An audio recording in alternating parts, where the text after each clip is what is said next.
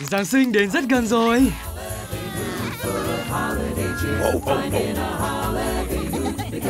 Hãy cùng các nhân vật yêu thích đón một mùa lễ hội ấm áp và rộn vang tiếng cười bên gia đình nhé.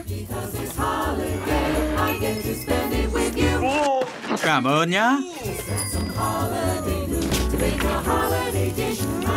Chuỗi chương trình đặc biệt mừng Giáng sinh sẽ lên sóng vào 2 giờ chiều từ ngày 23 đến 25 tháng 12 trên CBB.